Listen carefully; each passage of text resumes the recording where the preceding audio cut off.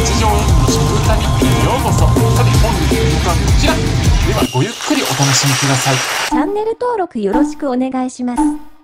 ちらファミリーマートコレクションのポップコーンとコーンスナックを食べたいと思いますこちらふんわりポップコーン2種のあっさり塩味クワトロチーズポップコーン。濃厚キャラメルポップコーン。軽いチーズスナックなんですけどコーン菓子なんで含めますいいです。うんとろける食感のキャラメルコーンサクサク食感コーンポタージュ。これらを食べていきますね。でもこのままだと食べづらいので。はい。まずはポップコーンを皿に出していきこれがキャラメルチーズ。そしてこれがふんわりポップコーンですね。早速いただきます。この中だと一番美味しいのはやっぱりほんのり甘みも入っているこれかな。あさし続きましてはコーンお菓子3種類。こちらがコーンポタージュスナック。チーズスナック。上に持ってるのがキャラメルスナックです。ではいただきます。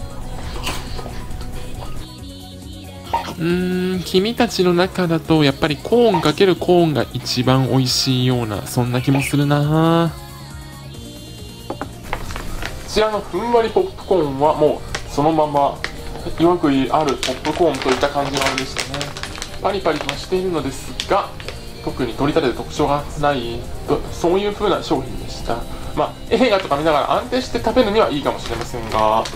でこちらのクワトロチーズポップコーンの濃厚キャラメルポップコーン。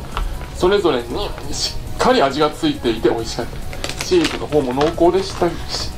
キャラメルの方はちょっと歯ごたえがあってサクッとした食感も味わえてキャラメルの濃厚な甘みを口の中で感じることができて美味しかった。ポップコーンはもともと塩気があるのでそれで余計にキャラメルの方が甘みを感じやすかったのかもしれませんね。なのでこのポップコーンの中ではこのキャラメルが一番美味しかったのでこちらを代表としてこちらの点数とさせていただきます。そしてそして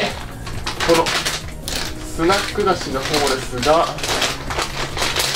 軽いチーズスナックは本当にサクサクと食べ進めることができる軽い食感でその後にチーズの風味がほんのりしましたが後の2つに比べるとちょっと弱かったような気もしますね。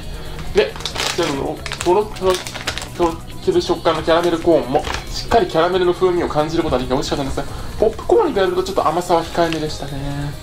やっぱり外にコーティングされてるの中に入ってるのでは違うのでしょうかでこちらのサクサクポタージュコーンポタージュはまあもともとコーンなのもあるのかもしれませんがコーンポタージュの甘さが口の中に広がってきました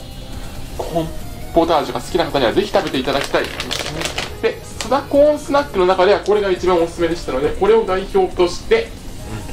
こちらの点数とさせていただきます。うんサクサクお菓子コーンとってもじゃトウモロコシってお菓子にしても美味しいですね。まあお菓子にしても美味しい野菜もいっぱいありますけどね。それでは林間学校シンデレラかな？夜なので。まあ確かにシンデレラは夜になると帰りますが林間学校は帰らないのでは？